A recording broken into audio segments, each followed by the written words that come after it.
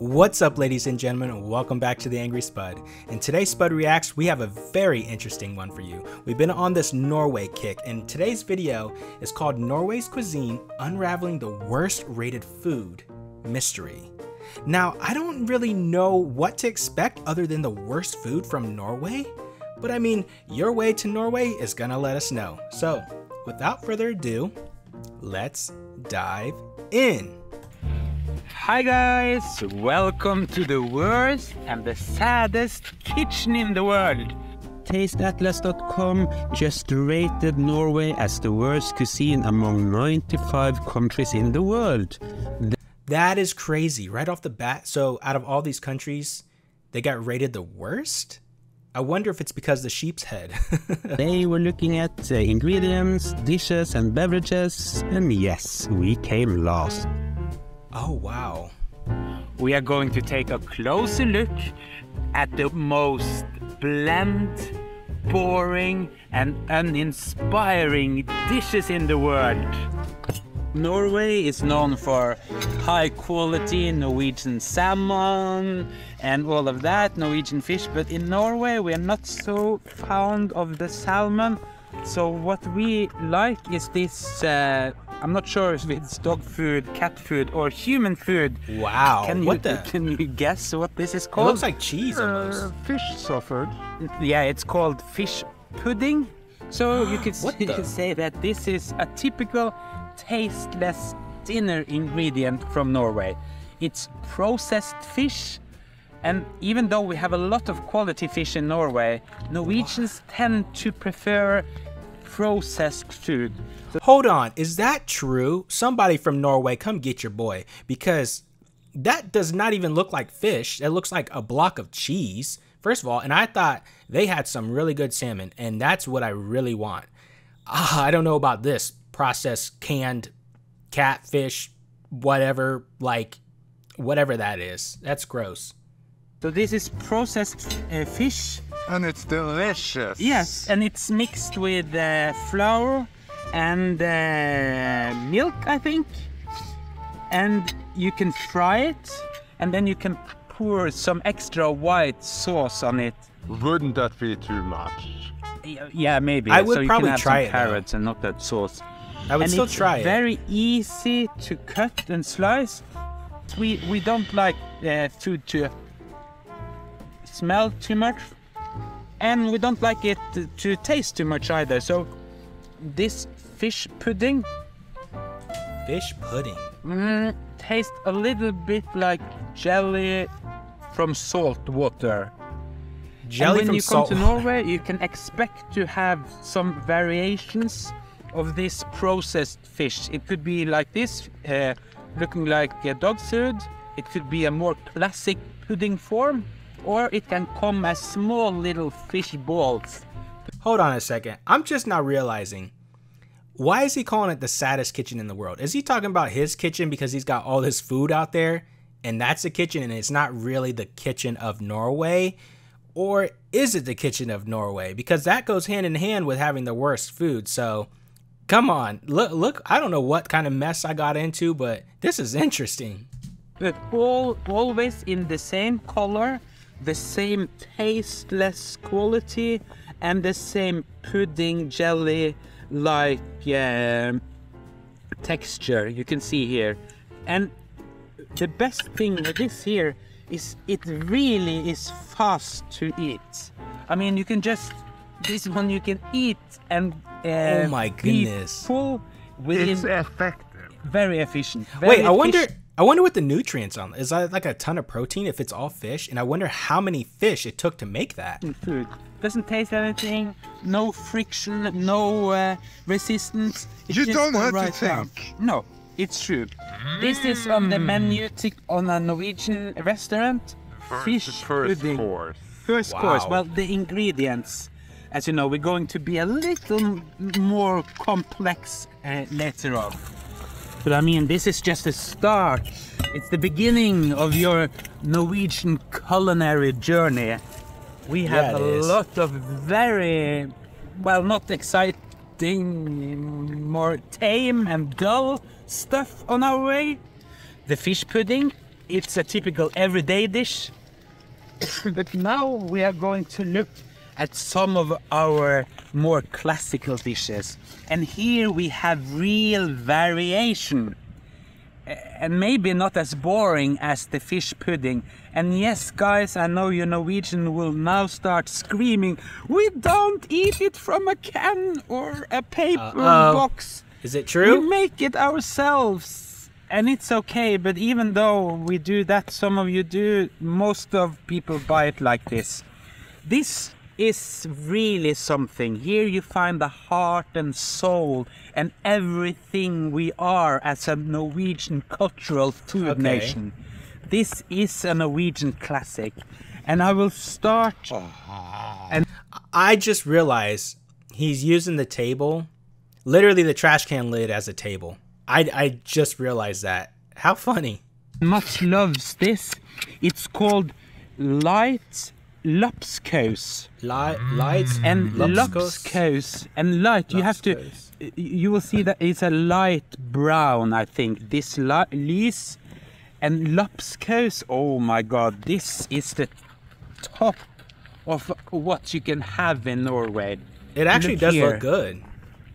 It also mm. looks like Like uh, dumpling, dumpling pet food. soup or something. No, eh, it eh. looks like. You eat it, It looks like. Mm. But look at the beautiful light color. I mean, this is something more than the white fish pudding. Look can. It looks like potato. it's it's really really lovely. I actually would eat that. Welcome to the restaurant. Yeah. So when This you lady come wants to no part of Norway, that. you will for sure be served this dish. And the the thing here is that you take potato, you take carrot, you take take some onion, and you have some meat. Is it meat? This one here. He Yeah, Is it Yeah. meat? Something. Mm. But you don't have to put it on a plate. You can eat it from the box. Yeah, of course, but now we are at the pop-up your restaurant. You're, you're idiot. But as oh, I Oh, promise you, as I promise you, It's a freaking look, dumpster. This is a light. Here you have a lighter version, and then mm. Norwegian needs some variation. This is why it's So- the worst kitchen in the world. This one is the other one. This is called dark brown, and here you can see we have the brown version, and and it has that same Norwegian wishy-washy texture. This is reminding me of MREs from the military, straight up. Ah, and the smell of some food that has been stored for many years. So at our Norwegian pop-up restaurant, here you are served. Okay. I put the chamber music. Da-da-da. Sir, for your Norwegian dinner today, two variation of darker and lighter lapskaus. It really is our national pride and joy. It tastes like Michelin. Of course, Norwegian Michelin. La la la. I thought you said Michelin la, at first. la. Michelin. Are you enjoying the culinary journey through Norway so far? Lille kanon blå. Yeah. That's actually way better than the um I forget the word. It was like shapolov or something like that. The the sheep's head, I think. I don't know if those were the same thing, but that I mean that's way better than that for sure. Would you like to eat this uh, lapskaus? Yes. Would you prefer the light version, light brown or dark brown? What's the difference in taste? Nothing. But you know, Norway, we are a part of the world. So we are taking We are international. Yes, we are international. Hmm. This dish, if you ask Norwegians, they will say this is the best pasta dish in the world. And Oh. here again, we are on a can, and yes, I know some of you prefer to make it on your own at home. Spaghetti? It's called spaghetti Spaghetti alla Capri. Yeah. It's so easy. Whoa, what they It's say? so Caprese? it's such I mean, in Italia, go home. You can never. They have an Italian guy here. Yeah, but you can. Let me see that Italian Yeah, guy. but but h- h- you you uh, Italian guys, you stand no chance. Norway just made the best pasta dish in the world. You left behind. Look at this Oh. vital, uh, Brain vibrant quality pasta. And I know you guys from Italy are, are probably screaming, throwing stuff at the TV, like just listening to this guy talk. I mean, but this does look good though. look, these sausages. It's look, isn't it exotic? Aren't you Exotic. hungry? Do you have water in your mouth now? Look, This is actually one of my favorites. it's Those, true. those cans He's are big though too. and and pasta you know the the stupid italians they want to make the pasta al dente Yeah. but in norway Dry. we want to make it as slushy as possible Because then you don't have to bother chewing. no you can just Chewing. swallow Yeah. and and and, and i mean s- this crushed pasta it's so easy You can have them right in your veins, like infusion. They're about to make some people mad. I feel like. and it tastes absolutely nothing. and that's the best because I It mean, tastes spaghetti alla Capri. yes, nothing because there is no mm. taste. It's a bit al dente, that ball. N- The ball, yeah. Yeah. Okay. Yeah, but but it, I mm. can't I can't feel the difference between the pasta and the meatball. Oh, it's like the same. Can you? Mm, yeah, you can. How would you describe them? the the? The balls around the pasta looks like uh, the rest of the brain. y- Yeah. Okay. So so for, It's just visuals. so for I feel like- Norwegians, it's im- I feel like we have this here in America. Like I've had that plenty of times growing up. It looks very, very familiar. important that everything on your plate uh, tastes the same and tastes nothing. And it's very easy to eat because for us Norwegian, food is like fueling your car with gas. That's true. I mean, we we want to do it fast. We are not sitting around the table and waiting and blah blah blah blah. What we need is frictionless food. Mm.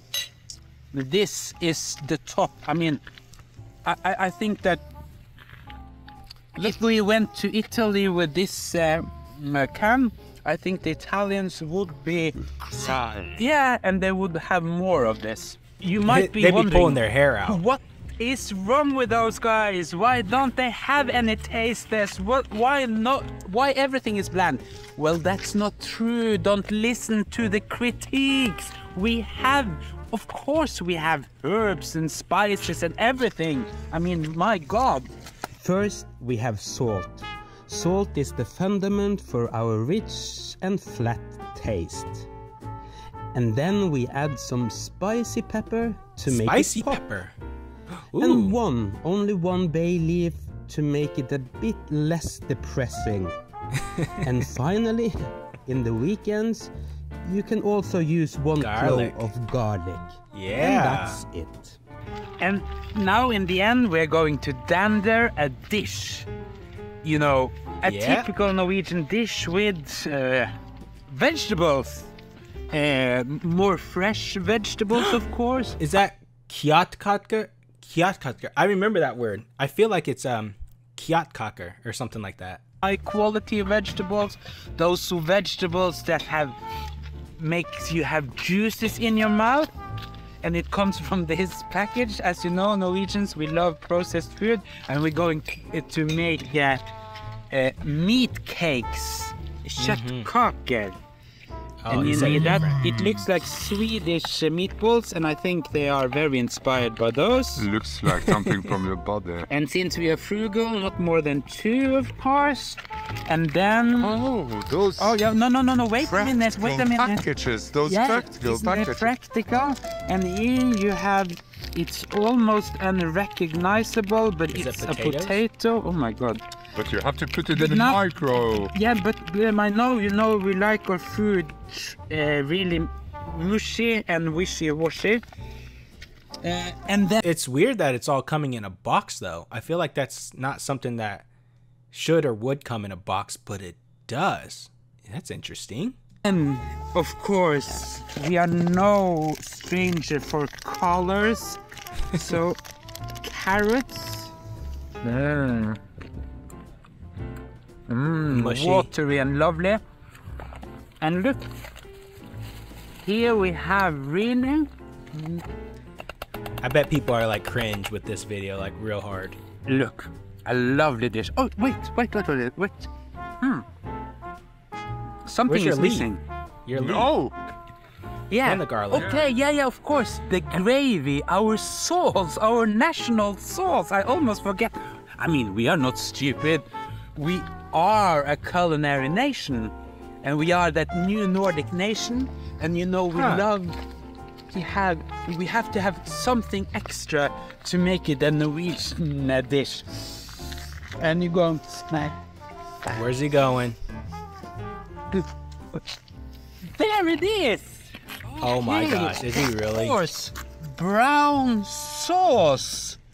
Because in Norway, Oh my s- gosh. yes, it will not be dinner before we have our special brown sauce on everything. And this brown ah. sauce, you will find it in all, m- more or less all Norwegian dishes. You can either have it brown like that, or you can have a white variant of it. Yeah, that's not white. We need something to drink, of course. oh, why? Yes, we have some real, the most popular uh, drink to a dinner dish in Norway, and it's very typical Norwegian. Actually, no other country drinks this as much as we do. Oh, it's a, it's a traditional Norwegian drink. And it could, of course, be water from the nature because we have lovely water. But since you guys are special, we have a special Norwegian pop-up restaurant. We couldn't only have water. We What is have it? to have our most popular dinner dish, Oh, and yeah. that is Mhm. Pepsi Max. We can't get enough of Pepsi Max. Is that? Do you guys really drink a lot of Pepsi Max there, or any Pepsi in general? I don't even remember the last time I've ever had that. It's been years and years. Seriously. So, if you ever wonder why Norway uh, was rated the worst kitchen in the world by Taste Atlas, well, this is your answer. Is it a lot of Norwegian restaurants in the world? I mean, have you ever been to a Norwegian? Have you ever seen a Norwegian restaurant? Yeah, But have you guys? No. I don't know. I have never seen it except of our today, the farthest uh, kitchen in the world. it's the first. It's the first. Yeah. So if you guys have seen one, So, what? Which di- dish did you prefer? What are you looking forward to your next stay in Norway? Give us your comments. We love them. And until next time, see you. Sees. sing a little song about Brentford. I would say not all of that food looked bad. I I kind of I would have eaten probably all of that honestly, except for that fish in the beginning. It was a little weird. I'd still try it, but that was definitely weird. Now that brown gravy, if he would have actually eaten that like right in front or just kind of scooped it up. At first I thought I don't know, maybe a dog walked walked by and uh had a little accident or something because that was kind of gross. He scooped that up and put that on there. Would you try that? I don't know. But that's all I have for this video. Norway, what else you got for me?